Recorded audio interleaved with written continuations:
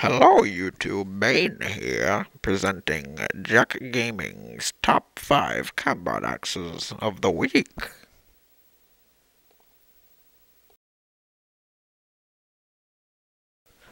Starting off the countdown is Supremo D with his across the map throw at Yemen.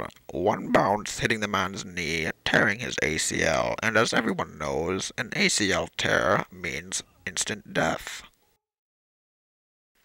Number 4 comes to us from Steith012 with his spawn throw from Turbine which bounces off a rock and hits a man in the foot. An axe to the foot sounds incredibly painful. I can see why this man would want to die.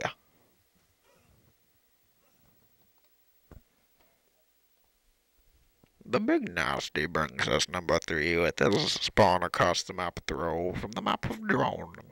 He throws it and it hits the building once, then it presumes hit the ground once, and it enters the man through his ankle, killing him instantly.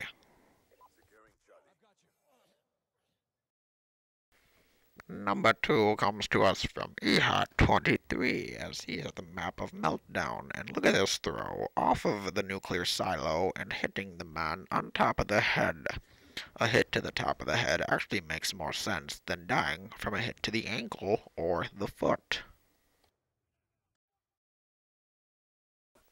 And finally, at number one, coming from the map of Carrier, JJ Red 22 throws his combat axe over the carrier, ricocheting off the top of the carrier, bouncing off the ground, and hitting the guy in the chest.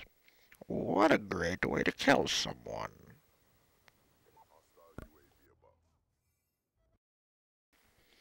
Thank you for watching Jack Gaming's Top 5 Combat Axes of the Week. If you have some of your own, please submit them. We would love to see them and post them in our next Top 5.